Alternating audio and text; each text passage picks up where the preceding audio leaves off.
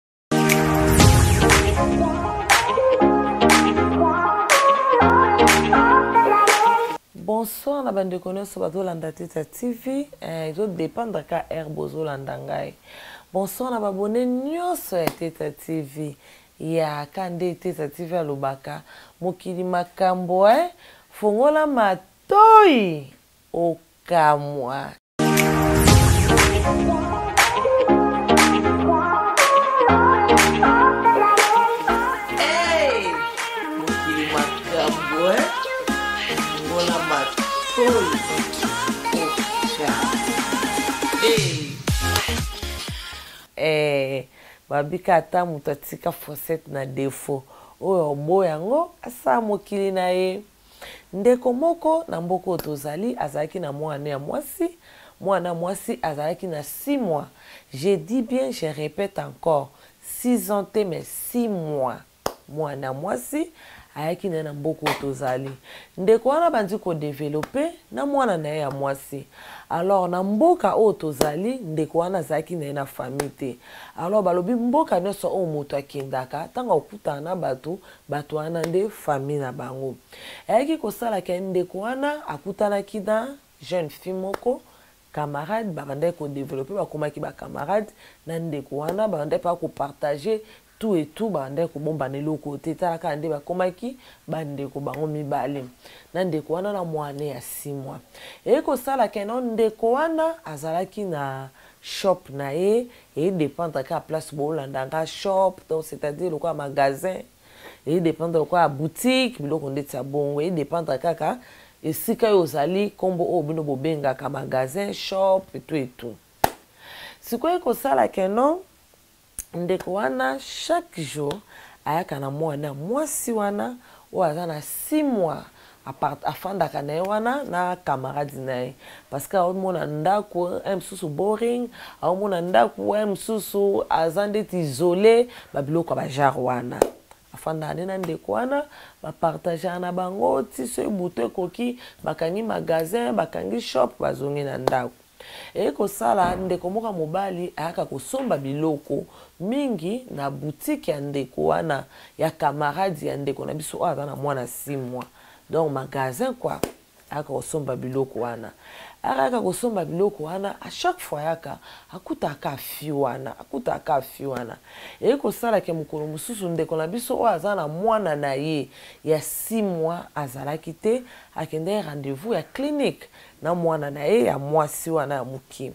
ere ndeko wana ye mbala moko azwi courage ya kotuna ndeko wana mosusu oyo aza mokolo magasin atuni abi mama a chaque fois nayaka awa nakuta kona mwana mwasi moko boye awa mwana mwasi wana azalaka nani ka nde eteta tv alobaka na bino mokili makambo e fongola matoi okamwa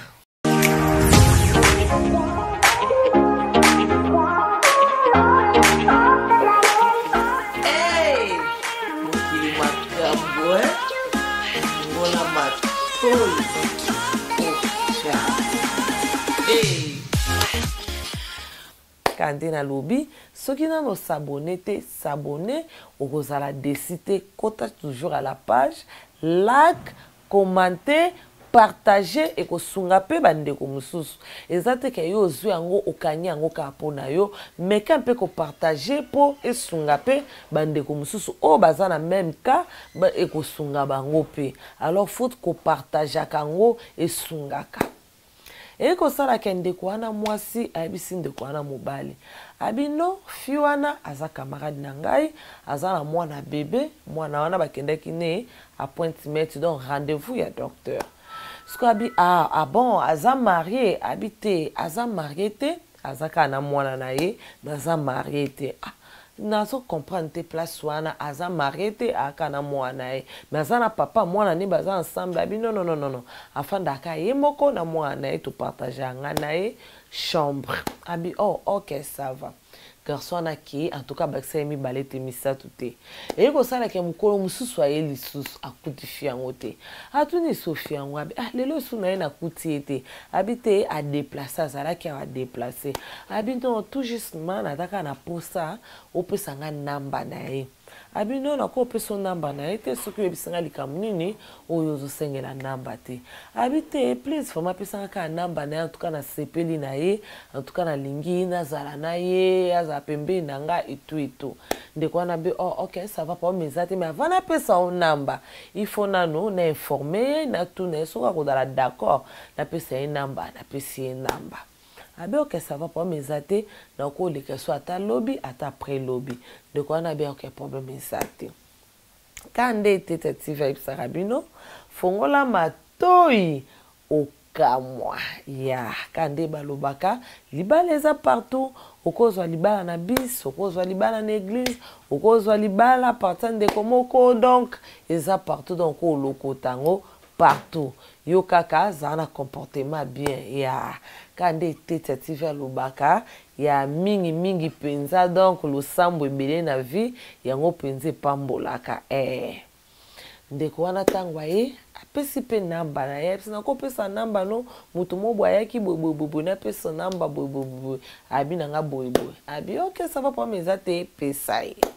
azwi mpe namba apesi moto yango babandi mpe kosedevelope na moto yango eye kosala mpe keno asepeli na ye mpe na moto yango badevelope abombelaki mpe mobali yango tabi keno naza na jeune fille na ngai ana simwa ya nayaka na ye antuka nazalaki na libala moko ya bien te nakimaki na ngai mobali na mwana na ngai naza yo mobali na ngai non problème eza te lokola nalingi yo Na ndimi kozua yo na mwana na yo en charge, nga na kobokola mwana wana, mwana wana aza mwana na nga. Alors la fille abangaki, abi non nga na moni nga na yo to se developper, na zua mwana oyo na zongisa ye na mboka, nga na yo totika mboka, abi non non non non to se developper na mwana oyo, nga na ndimi na zua yo na mwana. eye kosala ke no bandi kodevelope baye kobalana babalani ndeko mpenza honore mpe mwasi très bien donc mpenza libala ezalaki wau ka nde tetati mpe alobaka wau awau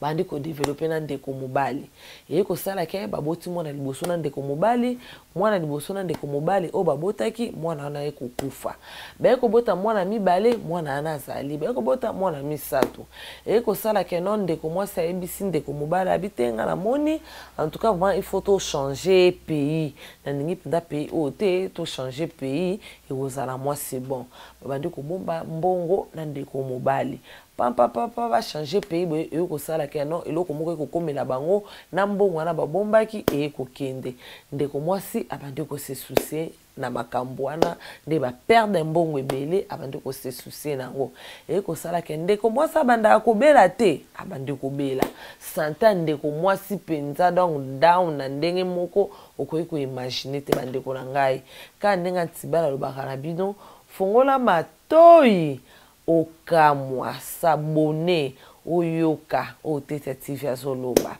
Ekosala ke sante vraiment e deranger ndeko muasi. Bake hopital changement ezomonana te. Bakende boye changement ezomonana te. Ndeko muasi azovimba, ndeko muasi donc omona soki omoni ye donc omoni ke non a perdre dejà donc vie donc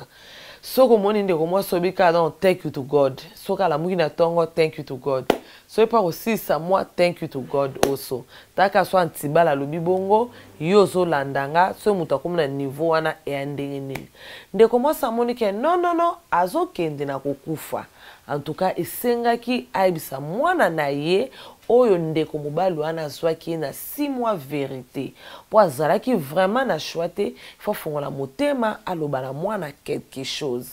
me na ndeko mobali baboti deja bana misato Bakufelaki moko, baboti bana misato, na mwana na ye moko oyo ayaki na ye na libala na age ya 6 mois, na bana aboti mpo ya ndeko wana bakoma lokola neti 4. Eye kosala que non, mwana wana oyo azalaki na 6 mois aye kokoma na 15 ans, azokende 16 ans. Mwana wana so bomoni ye mpenza na mbinga mwana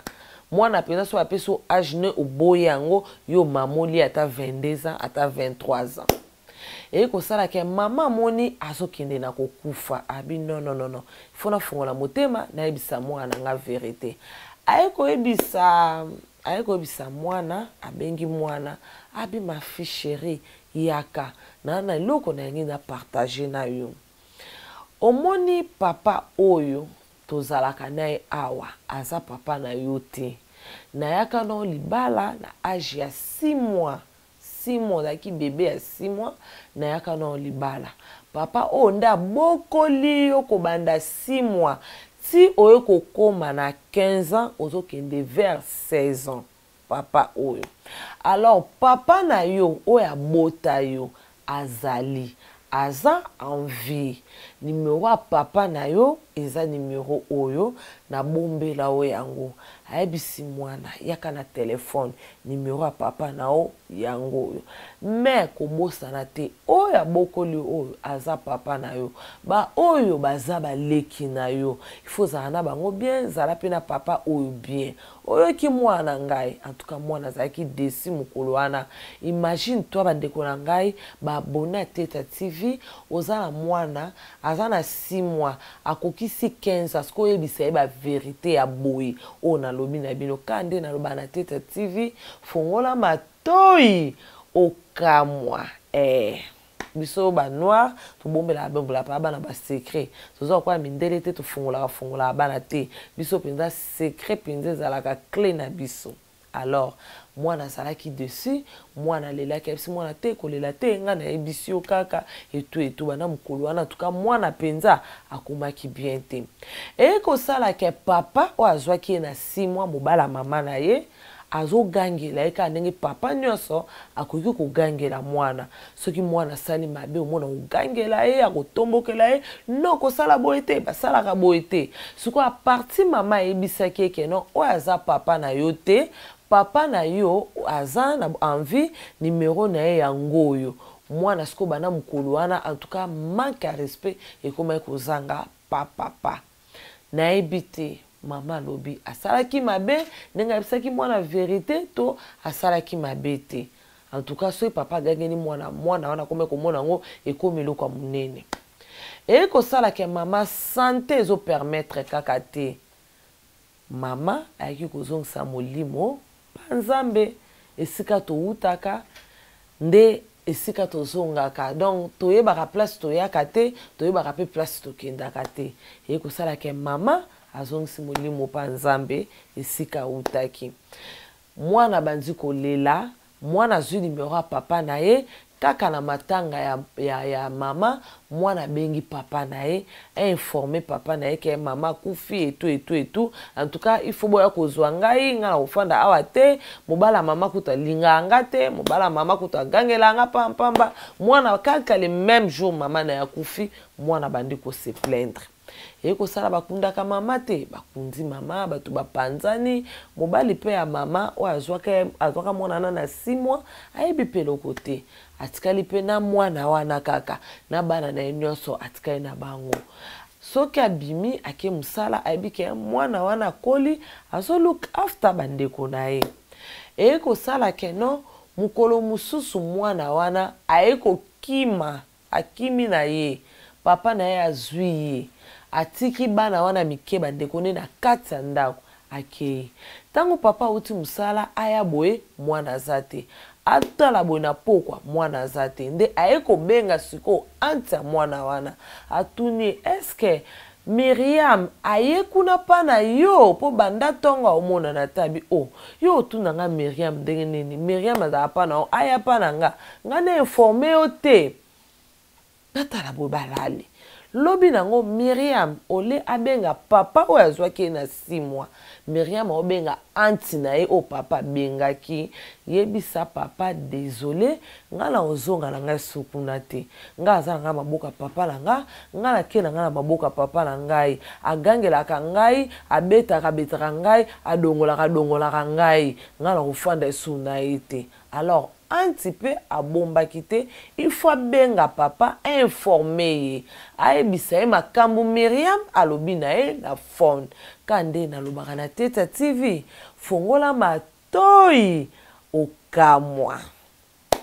papa telephone esonaka te Telephone e sonne, Hanse ayebisi ya bi non, na gangelaka ye bien sur, aza muana, nazo pesa ye education po ye pe a aider ba leki na ye. Na gangelaka ye na ndenge ya mabe te. Pourquoi Miriam ako sala bongo akima, atiki pe ba ndeko na ye bango moko na ndaku. Alors bino bo bosana pe te ngai na bunda mingi pona vie ya muana wana. Nazua ye tangu aza na six mois ti akomi na quinze ans, azo kende seize ans. na maboko na nga mwana wana akende kokima nga en tout cas naza vraiment na pota naza na pota vraiment makasi en tout cas naza happy te na makambo oyo Myriam asali nde sikoyo nani alobi na ye nani anti alobi na ye non kozala desi te ngai nakomeka kosolola en tout cas famille tokobosana yo te tokobosana yo te en tout cas tokosolola na mwana alors mpe mwana makambo asali biso mpe tosepeli na yango te ameki kobenga papa miriam papa original ya miriam abi te ngai mpe nakosepela bongo te mwana na ngai ayebisi ngaki adongolaka ye agangelaka ye nakoki kosepela bongo te yango wana ndeko wana aye pa na biso to partage na biso ka nde na lobaka soki ozui yango lisolo oyo ko garde yango te kaka pa na yo yo pe partage yango like comment eko sunga pe ndeko oyo aye na lisolo oyo alobi sikoyo na ka bongo a force ko welela muana Akende ko menacer mwana na maboka papa na ye? Aloba maloba mabe likola mwana? To asala nini? Ndeko asuki. Aoyeba te abanda wapi. Bizi, ba leki pe ya Miriam oyo ba bota na mama na ya Miriam ba nao mike makasi. Ayebi te yango nde aye abi Antibal mema lisolo oyo. Beta lisolo na ngai nazo yeba te to partager yango ngai na bino. Aloba maloba mabe likolo ya mwana wana? Akende ko menacer mwana wana na maboko ya papa na ye? Akende ko bloquer na ecole to asala nini? Kaka ndenge nalobaka mokili makambo hein! Fongola matoyi okamwa.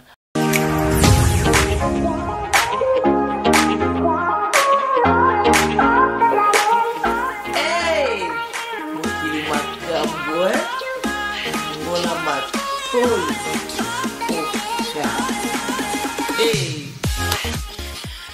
merci na babone na ngai nyonso baoyo nyonso balandaki ngai bande bandeli mpe suka en tout cas merci na bino napesi bino bamerci ebele tellement boza molongo eza molai so nabandi